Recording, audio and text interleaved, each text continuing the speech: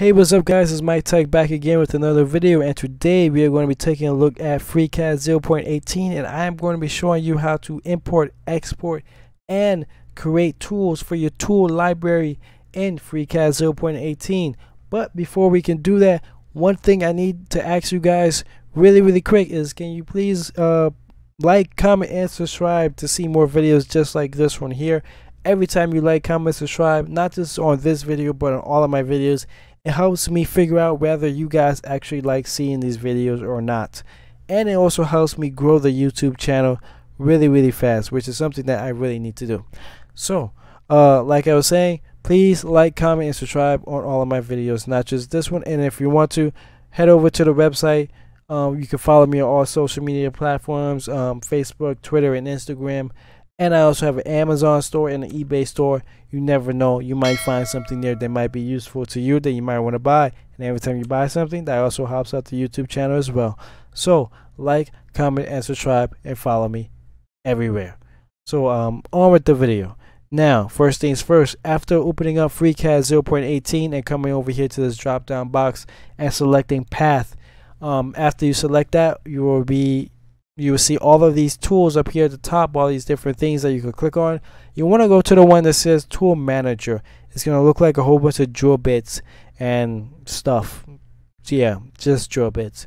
Um, after clicking on this here, you're going to see a tool library. Now, after the tool library shows up, you're going to see two things at the top. You're going to see import and export. Now, what are these two buttons and what do they do? Well, let's say for example you have an old PC and you need to export um, your tool library from your old PC and you want to import it onto your new PC well very simple. You can do that here. You can just click export. You type in the name of the file of the tool library that you want to export. Here you press save. You can save it to a flash drive SD card CD anything hard drive. Does not matter.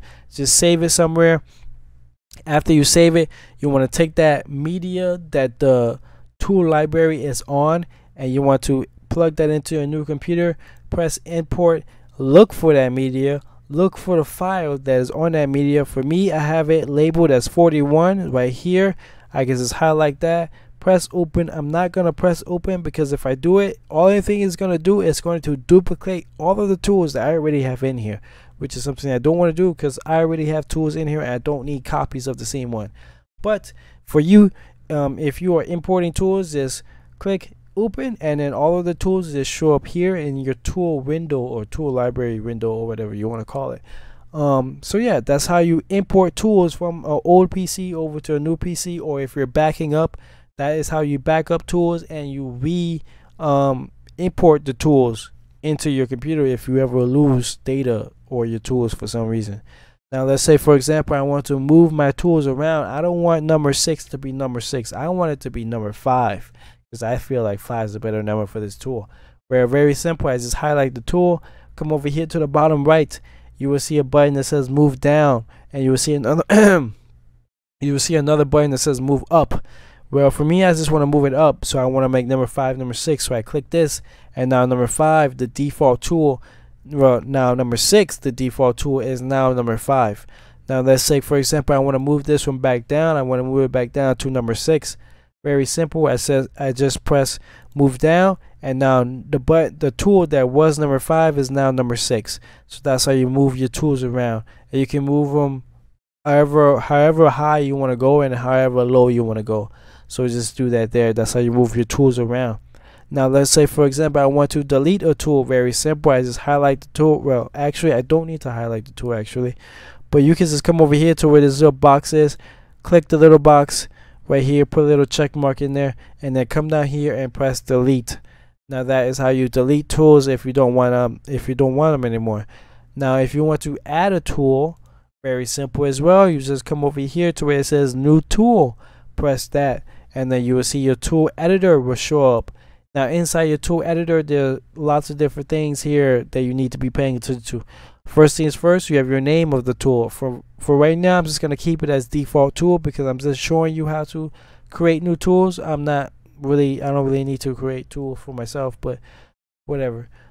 Let for right now, for example, let's just keep this as default tool.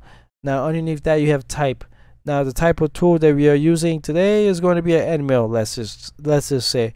But if you don't want to use an end mill, let's say you want to use a drill. Um, this is your drill here, and then obviously it's going to be asking you for different things. Let's say you want to use a fly cutter. When this this this is not a fly cutter. There we go, fly cutter. Now, if you want to use a fly cutter, obviously it's going to ask you for all of the stuff that is necessary for a fly cutter. So if you want to use maybe a ball end mill, and it's going to ask you for stuff for a ball end mill. So it is going to change based on the tool that you are using. But let's just switch it back to mill for right now. Underneath type, you have material. Now, when you click on this, it's going to have all the different materials that the tool can possibly be made of. It has carbide, high-speed steel, high carb, uh, high carbon tool steel. It also has cast alloys. It has ceramics, and it also have diamond along with a couple other um, tool materials as well that you could possibly use. That you can also use. Um, underneath that, you have length offset. Now, for me, I do not use length offset because I have the length offset programmed inside my CNC machine. But for you, you might want to have it programmed inside the tool editor if that's what you want to do is up to you. Um, more information the better it is. It helps it calculate the the um, actual program better. So it helps out with the with the processing part for the G code. So if you want to put that in there, feel free to. I don't because I really don't think that's necessary for me because I have it inside my machine. So I just leave this empty. It's up to you though. Um, underneath that you have your tool um, stuff, all the stuff for your tool. So you have your diameter, your height, and S I don't bother with. But uh, like I was saying, it does change depending on the tool that you're using. So if I switch this to drill, diameter and height is still going to be the same but the angle is something different. So now it's asking for the angle of the tip of the drill. So like I was saying it's going to change based on the tool that you are using. So there you go. Now it, after you get done typing all this stuff in you press OK your tool is going to show up beside your tool library window um, if you want to add this tool to a job or a tool manager or whatever it is. Let's close this real quick. Let's go over here. you have your job editor. Go over here to where it says tool. If you want to add a tool to your job manager, press add. Come over here to your tool that you want to add. I want to add the default tool, which is a tap. I want to add that to my tool to my job editor. I click the uh, inside the little box here, and then down here at the bottom you will see a button that says create tool calculator. Press this press OK and now my default tool has been added to my list of tools for my job. So that's how you add a tool for a job. Let's say you want to get rid of a tool for a job. You don't want that any you don't want that there anymore. Come over here to where it says remove. Press remove it disappears. Let's say you want to edit because your feeds your speeds are not there. So if you want to edit that come over here to where it says edit and now you can enter in all that information here. You you can enter in your horizontal feed your vertical your vertical feed your vertical rapid your horizontal rapid and your spindle along with the direction of the sp uh, uh, the direction of the spindle forward or reverse. And then at the top you at the top you obviously have the um the name of the tool as well. And then if you click down here where it says tool it basically gives you all the information that you saw inside the tool um, editor for the tool library. All of that stuff will also show up here as well. So you can also edit information here if you need to. And then after doing all of that press ok. And then it will automatically just show up here. I didn't type anything in so that's why it's not showing up. But for you after you type it in it will be there. So there you go. Press ok and then that takes you back to the main window so I think I pretty much went over everything that is necessary for you to be able to import, export, and create new tools, move them up and down, delete them, put them inside of a job. I think I pretty much went over everything for that. So, um, if you like this video, like it, comment, subscribe. Don't forget to share the video as well. Don't forget to go to my website where you can watch other stuff. I have lots of stuff up there. I also have stuff to sell as well.